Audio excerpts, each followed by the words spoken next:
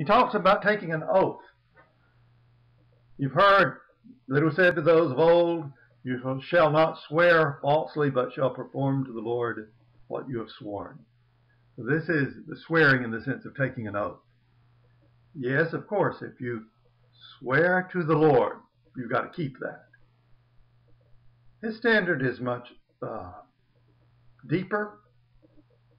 But I say to you, don't take an oath at all, either by heaven, it's the throne of God, or earth, his footstool, Jerusalem, the city of the great king. And don't take an oath by your head. You can't make one hair white or black. Let what you say simply be yes or no. Anything more than this comes from evil. You shouldn't have to say, I swear by this, I swear to this. If you just mean yes when you say yes and no when you say no, people recognize that your word is good. Needing to take an oath for people to believe you is a sign that there's something evil going on. Don't be legalistic about, well, I didn't swear to this or I didn't swear to that. Every yes should mean yes. Every no should mean no. One lesson that Jesus teaches along this line is one that I find many people uh, at first glance balk at. It's about retaliation and about loving your enemy. You've heard an eye for an eye and a tooth for a tooth. That indeed is in the law of Moses. The standard is called the lex talionis. That is the law of a standard. The standard is that the punishment should fit the crime, that you can't take a a, a life because somebody took an eye. It's an eye for an eye, a tooth for a tooth. Jesus turns that around though. But I say to you, don't resist the one who is evil. But if anyone slaps you on the right cheek, turn to him the other also. That's the phrase that so many of my students just just say, I don't think so. If anyone would sue you and take your tunic, that is the basic garment that you wear, let him have your cloak as well. If anyone forces you to go one mile, go with him two miles. Give to the one who begs from you. Do not refuse the one who would borrow from you. He has taught us a new and Christian way to deal with people who impose on us. Do not resist an evil person. Turn the other cheek. You know, there's actually strength in that. Somebody hits you, you just turn the other way and say, You want to do that again? Somebody is out to sue you. It's not right. They don't deserve it. Just give it to them. Give them more than they ask for. The government imposes uh, harsh responsibility on you. The background of this seems to be that the Roman forces could require any person under their domination to carry a soldier's pack for a mile. And those who were being dominated by the foreign government often resented that and probably got to the mile marker and put that pack down and says, there, I've done a mile. But Jesus says that imposition on you, the Christian way is say, no, I'll carry, I'll carry another mile for you. Standards of Jesus are higher and deeper than just following the law. We didn't notice it in the in the written notes, but it's also talking about giving to people who would borrow from you. You get tired of it, you get tired of it. But he says, if they're taking advantage of you, go ahead and help. Doesn't sound like our standard, but it's the Lord's standard. In similar vein, he talks about hate and love, loving your enemy. This is one of the teachings of the Sermon on the Mount that's most universally recognized and associated with Jesus. You've heard that it was said, You shall love your neighbor and hate your enemy. Well, I say to you, love your enemies. Pray for those who persecute you, so that you may be sons of your Father who is in heaven. For he makes his sun rise on the good and the evil. He sends his rain on the just and the unjust. If you love those who love you, what reward do you have? Don't even tax collectors do the same? Greet only your brothers. What are you doing more than others? Don't even the Gentiles do the same? You therefore must be perfect as your heavenly Father is perfect. Love your enemies. Pray for your persecutors. Greet people who aren't your people. And in Luke's account of this or a similar sermon, he adds, Lend to those who can't pay you back. Be merciful as God is merciful. Or, as it says back here in Matthew, uh, be like God who sends his rain on the just and the unjust. That's what makes you godly. That's what moves you toward perfection. We'll see frequently now in this section of the Sermon on the Mount the phrase, but I say to you. You've heard this, but I say to you. And you'll see that over and over, he is teaching that being true to what God has taught us has to go all the way to the heart. It can't be just a surface loyalty to God's law. In doing this, he draws comparisons between sins that we might classify in different categories. First of all, murder and anger. You've heard, do not murder. What society is there that doesn't have such a law? And certainly it is, solidly in the law of Moses. But then he moves on, and he says, Even though you've always heard, you shall not murder, and whoever murders will be liable to judgment. But I say to you, there we have it in verse 22, but I say to you, everyone who's angry with his brother will be liable to judgment. Whoever insults his brother will be liable to the council. Whoever says, you fool, will be liable to the hell of fire. Well, nurturing your anger insulting your brother, calling him an empty-headed fool. These are subject to judgment according to Jesus, just like murder is. He says insulting your brother ought to go to the Sanhedrin, the council, the, the high Jewish court.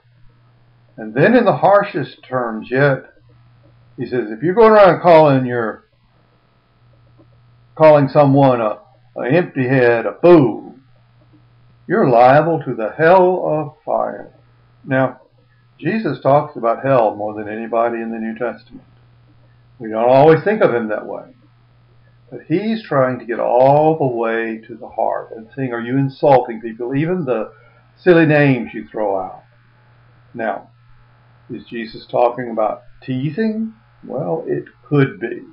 But he's talking about when you are insulting someone, when you're out to hurt someone and express your anger to them. He says, those are sins. Murder is a sin, but these are sins. And notice he's talking about the sin that would underlie murder. He wants you to stop it before that happens. In fact, if we pick up in the 23rd verse, we see what he's teaching. If you're offering your gift at the altar, and there remember that your brother has something against you, leave your gift there before the altar and go. First be reconciled to your brother, and then come offer your gift. Come to terms quickly with your accuser while you're going with him to court, lest your accuser hand you over to the judge and the judge to the guard, you be put in prison. Truly I tell you, you'll never get out of it until you've paid the last penny. Jesus says you need to recognize when there's tension between you and someone else and you need to go settle that. It's so important you shouldn't make a pretense of worship when you know that there's some difficulty that you can settle. You need to settle it. If you don't, things are going to get worse. And that's the theme in this section of Matthew. Deal with a problem in the heart before it becomes the obvious sin. God is looking all the way to your heart. In the next section, Jesus compares adultery and lust and then moves on to divorce. You've heard that it was said, You shall not commit adultery. But I say to you that everyone who looks at a woman with lustful intent has already committed adultery with her in his heart. Again, all societies, and certainly and clearly the Jewish law, condemn adultery. But I say to you that this looking to lust is a heart like an adulterous heart.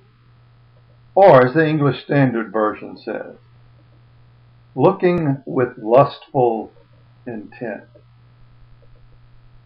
Perhaps we need to pause and recognize that Jesus doesn't say anyone who feels a temptation, anyone who notices sexual attraction. He says the one who's looking with lustful intent. Not that that's uncommon. It's not the same thing as just being human. He says your heart is sinful and in just the same way that the adulterer's heart is sinful. And so what does he say to do about it? Here he uses uh, hyperbole, exaggeration on purpose for an effect. If your right eye causes you to sin, tear it out and throw it away. For it's better that you lose one of your members than that your whole body be thrown into hell. Your right hand causes you to sin, cut it off, throw it away. It's better that you lose one of your members than for your whole body to go into hell. I told you Jesus frequently speaks of hell. He is talking to people and saying that person who looks with lustful intent is sinful in his heart. And so he says if your eye, if your look is is your temptation, stop it. Get rid of it. He then says whatever part of you is pulling you towards sin, cut it off. Now, how would you really apply that? Well, my observation from dealing with people as a minister through the years, uh, seeing people around me that I love who've had problems, people commit adultery, usually not in a sudden burst of uncontrollable desire. But adultery, that form of sexual sin that includes cheating on someone that's married, on your partner, or cheating with someone else's partner, that usually comes from a relationship. And the cutoff means, as painful as it may be, leave the situation, leave the relationship if it's going down that wrong way. I knew someone once who, just as she was about to get married, was also having an affair with her boss. When it came to light, the only thing she could do, the right thing to do, and the thing she did was quit her job immediately. And that was a difficulty. You cut off whatever is going to put you in danger of hell. And that includes the relationships that are going in the physical direction that you have no right to, that could lead to adultery. In a similar vein, he talks about divorce. It was also said, Whoever divorces his wife, let him give her a certificate of divorce. But I say to you that everyone who divorces his wife, except on the ground of sexual immorality, makes her commit adultery, and whoever marries a divorced woman commits adultery. That's a strict standard, particularly compared to what our society believes. It seems that they were just sticking by the law, which indeed was in the Old Testament, that you have to go to court. You can't just kick somebody out. If you're going to end your marriage, you must uh, do official documents. You must sign it and and, and get it uh, recorded that you have had a divorce. Following up on what he said about adultery, you can see that he's saying uh, a divorce is um, a serious thing. You, if you're headed in the wrong direction, you can't just just quit one and go to another. Uh, it's got to be done officially, but he wants to go deeper. He's saying, when you kick out your wife, and she had pledged to be faithful only to you. What in the world is she going to do? She'll end up with someone else. That'll make her an adulteress, and the person who's involved with her an adulterer. And so Jesus is talking about the evil of just kicking somebody out. Now he makes an exception. He says if somebody's cheated on you, there is an exception. And yes, divorce has its place for that. But beyond that, he says the heart of someone who, who will just end their marriage and turn their attentions elsewhere makes everybody involved violate the sanctity of marriage, makes everyone else adulterous. When we move into chapter 6, Jesus is dealing with people who've got religion wrong, who are doing it for shallow reasons. Beware of practicing your righteousness before other people to be seen by them. For then you'll have no reward from your Father who is in heaven. He tells the pretentiously religious several times, you did it to impress people, so you have your reward. But you're not going to have a reward in heaven. Here are the examples that he gives.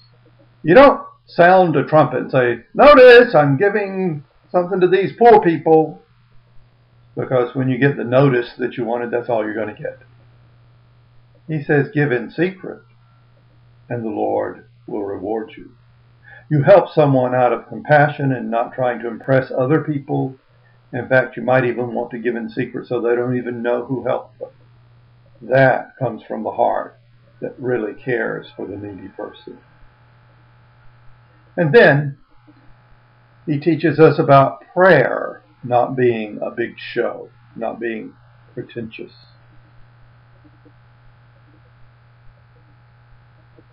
Of course, he's going to teach us what we call the Lord's Prayer, but he lays down some other instructions. Don't be like hypocrites they love to stand and pray in the synagogues and at the street corners that they may be seen by others. They've received their reward.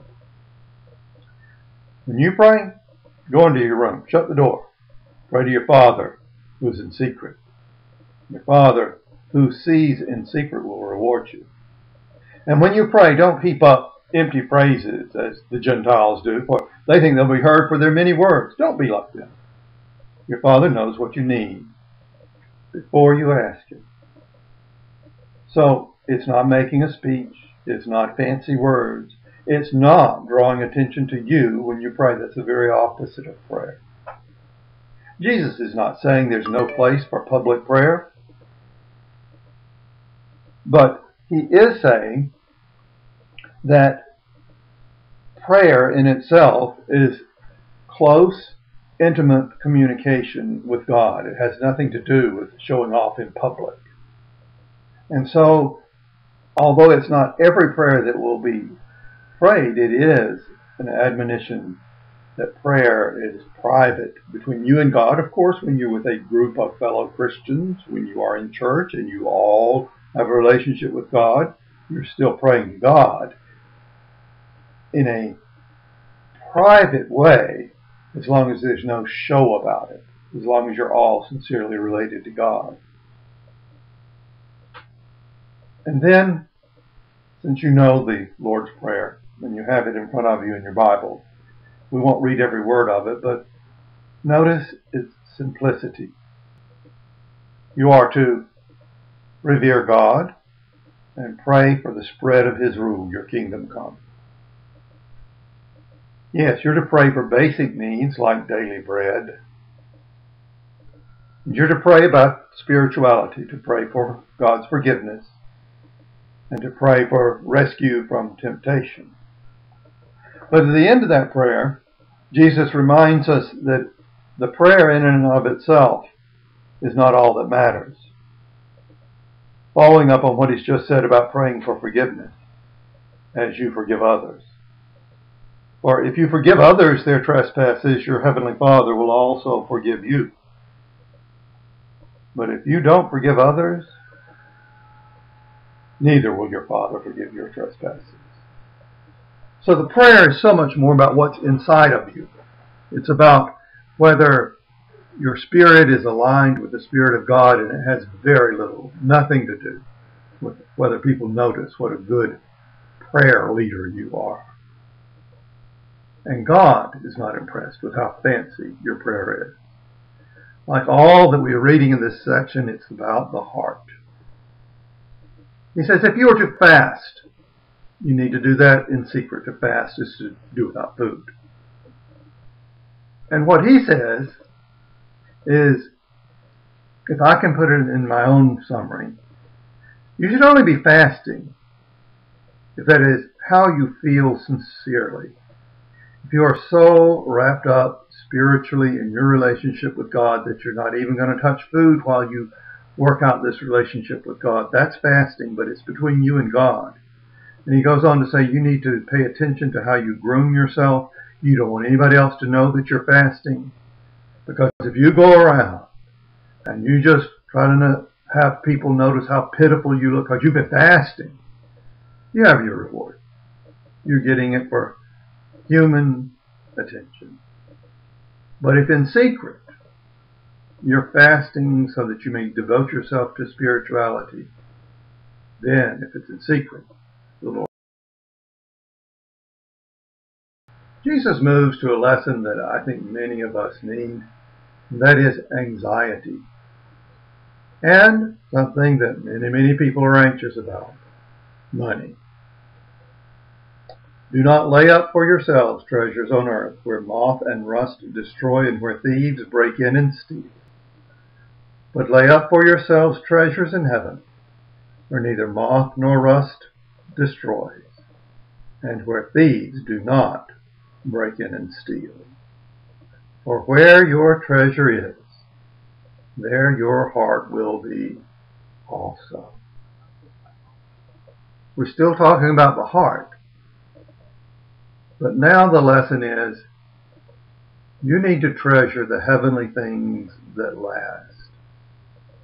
Where your treasure is, there your heart will be also.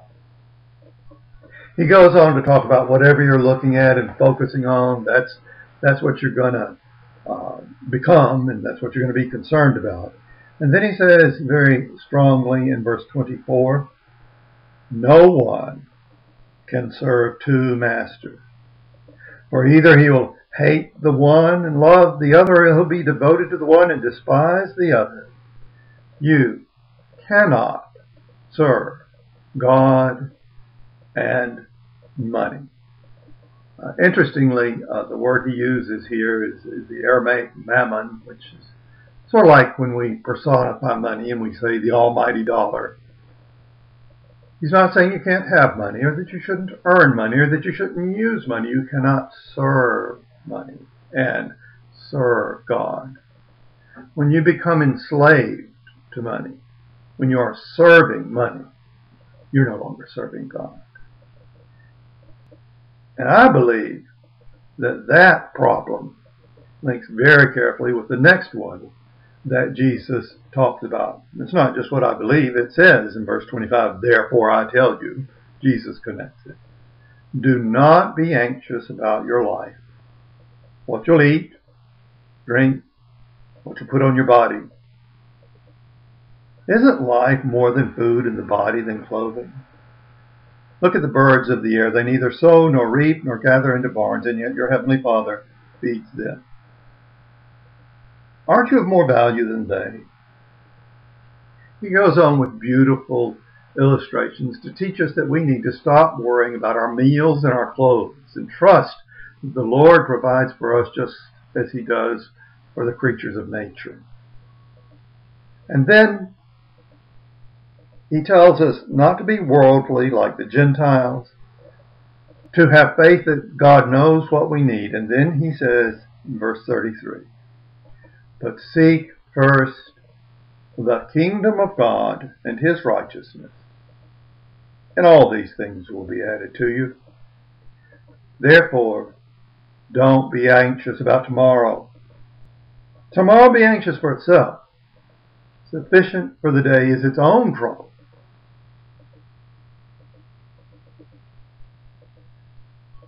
If you put the rule of God first, and what's right in the sight of God first. God will take care of your basic needs.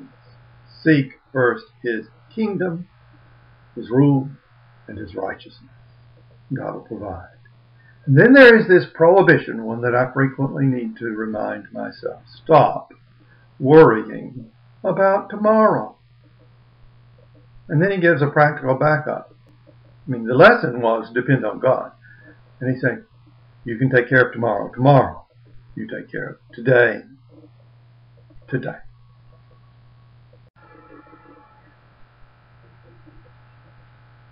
Jesus moves to a lesson that I think many of us need, and that is anxiety. And something that many, many people are anxious about money. Do not lay up for yourselves treasures on earth, where moth and rust destroy and where thieves break in and steal. But lay up for yourselves treasures in heaven, where neither moth nor rust destroys, and where thieves do not break in and steal. For where your treasure is, there your heart will be also. We're still talking about the heart. But now the lesson is you need to treasure the heavenly things that last. Where your treasure is, there your heart will be also. He goes on to talk about whatever you're looking at and focusing on, that's, that's what you're going to uh, become, and that's what you're going to be concerned about. And then he says very strongly in verse 24, no one can serve two masters. For either he will hate the one and love the other, he'll be devoted to the one and despise the other. You cannot serve God and money. Uh, interestingly, uh, the word he uses here is, is the Aramaic mammon, which is sort of like when we personify money and we say the almighty dollar. He's not saying you can't have money or that you shouldn't earn money or that you shouldn't use money. You cannot serve money and serve God. When you become enslaved to money, when you are serving money, you're no longer serving God. And I believe that that problem links very carefully with the next one that Jesus talks about. It's not just what I believe, it says in verse 25, therefore I tell you, Jesus connects it. Do not be anxious about your life, what you'll eat, drink, what you put on your body. Isn't life more than food and the body than clothing? Look at the birds of the air. They neither sow nor reap nor gather into barns, and yet your heavenly Father feeds them. Aren't you of more value than they? He goes on with beautiful illustrations to teach us that we need to stop worrying about our meals and our clothes and trust the Lord provides for us just as he does for the creatures of nature. And then he tells us not to be worldly like the Gentiles, to have faith that God knows what we need. And then he says in verse 33, but seek first the kingdom of God and his righteousness, and all these things will be added to you. Therefore, don't be anxious about tomorrow. Tomorrow be anxious for itself. Sufficient for the day is its own trouble.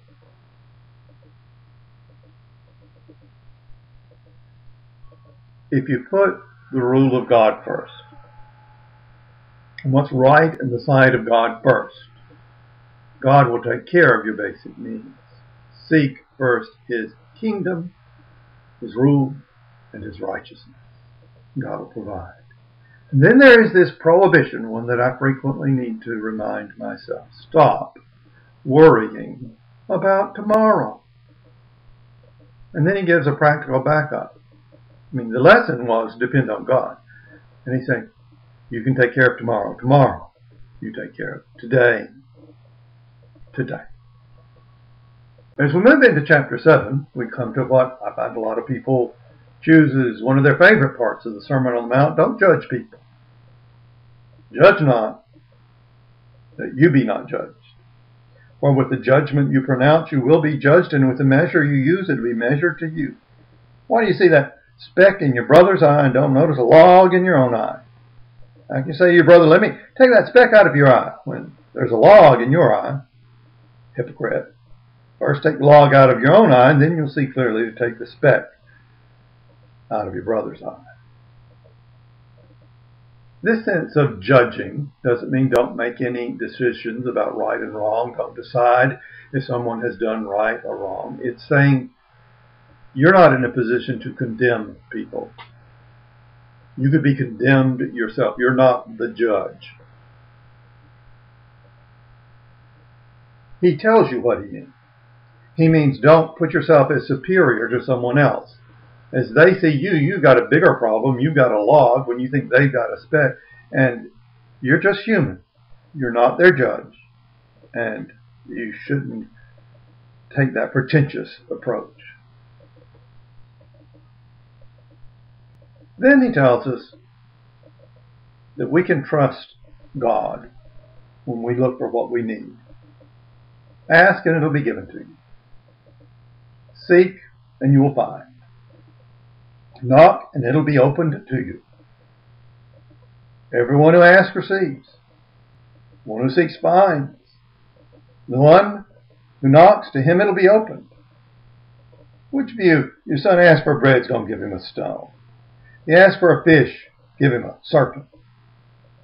If you then, who are evil, know how to give good gifts to your children, how much more will your Father who is in heaven give good things to those who ask him.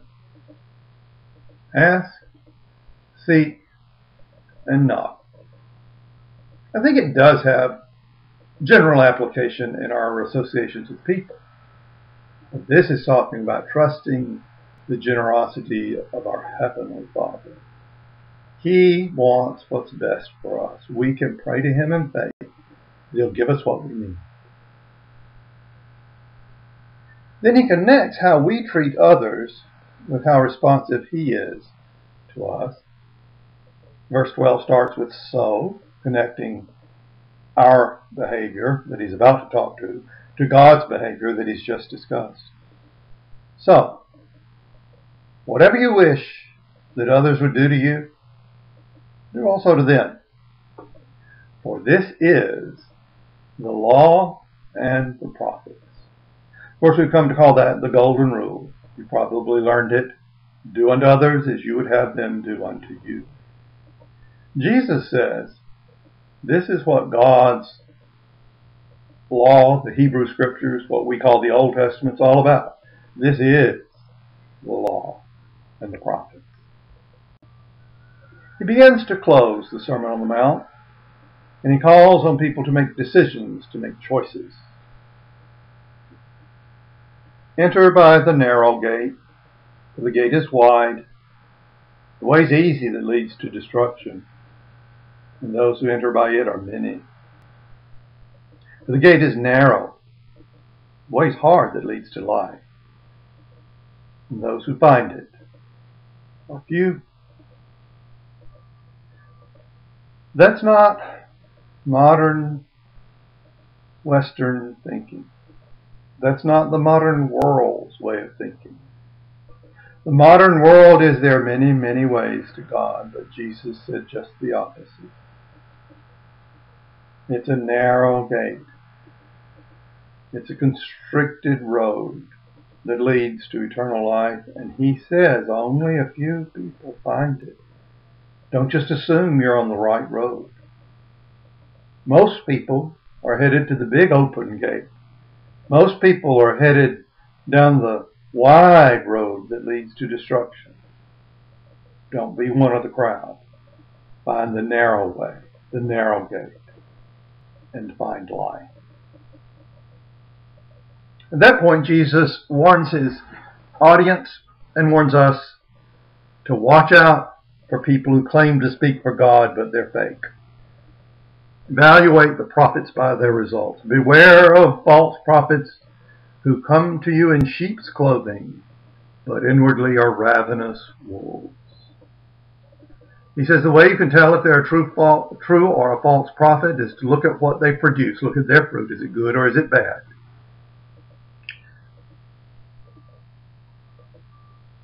And then he makes a, a frightening challenge to us. He's talked about the narrow way, and he pulls that to a sharp point beginning in verse 21 of chapter 7. Not everyone who says to me, Lord, Lord, will enter the kingdom of heaven, but the one who does the will of my Father who is in heaven. On that day, many will say to me, Lord, Lord, didn't we prophesy in your name?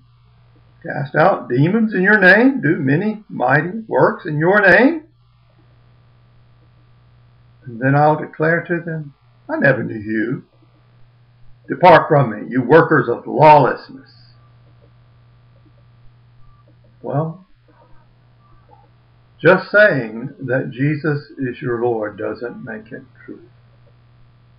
We're told that on that day, on Judgment Day. Some people who've been calling him Lord are going to be rejected. They may claim to prophesy in the Lord's name. They may even claim miracles in the Lord's name, but if they are not doing what God says, if they practice lawlessness, then they're not His. The Lord knows which people are His. They're doing His will. The evildoers the ones who don't do what God says, He's going to cast them out. The Sermon on the Mount ends with the admonition not to just hear what He says, but also do it.